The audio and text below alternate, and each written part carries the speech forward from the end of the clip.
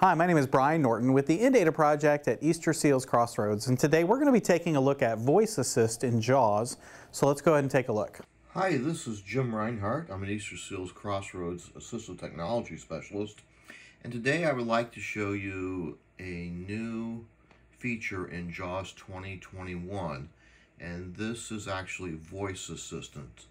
What this actually allows you to do is do some JAWS commands with your voice rather than keystrokes. So to do this, I'm going to open up a file that's a PDF um, and show you a little bit with that and then also uh, maybe take you to a website as well.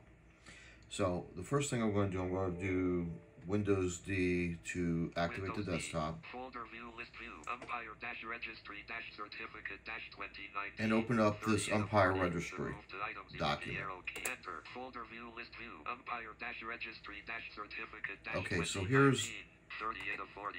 So here's the document, what it looks like. Now, to activate Voice Assistant in JAWS, there's a key command, uh, not a keystroke, but a voice command, and you say, Sharky.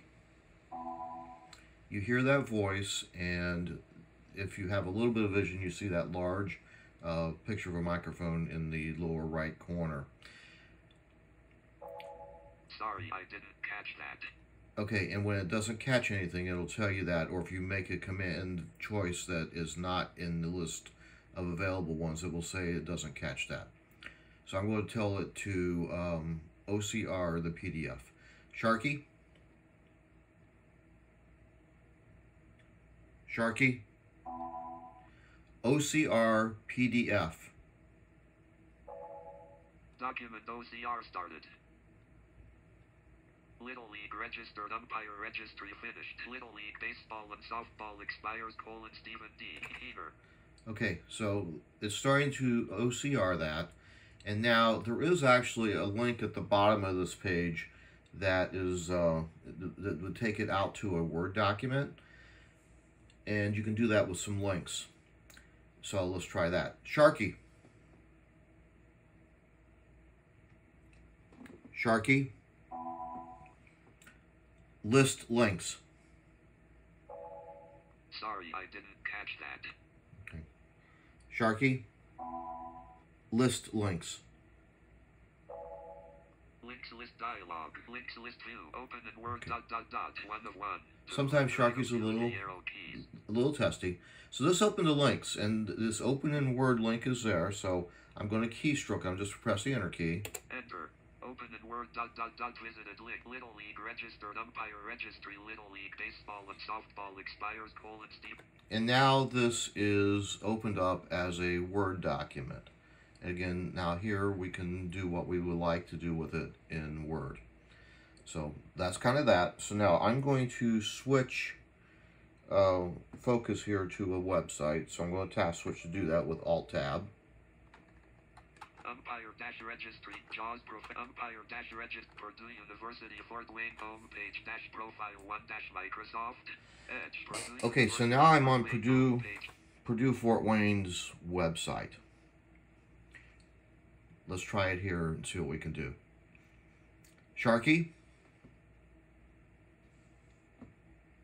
Sharky? List links.